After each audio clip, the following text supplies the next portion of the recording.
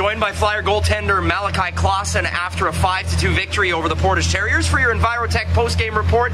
Mally, uh, a bit of a come from behind victory there. We went down too early and, and clawed back. What do you think of the boys' effort tonight? You know, yeah, I thought we could have got off to a better start, but I believe the boys and uh, knew we'd, we'd uh, have a hard push for the comeback. Uh, a big two points for us as uh, this puts us in second place in the MJHL East. How big is every single game at this time of year? Yeah, obviously every game's huge. Battling right now for that home ice. Hopefully, uh, see the Blues at home. Uh, speaking of home, we play at home on Wednesday, and every single fan that wants to come can. How excited are you guys to potentially have the Winkler Centennial Arena full?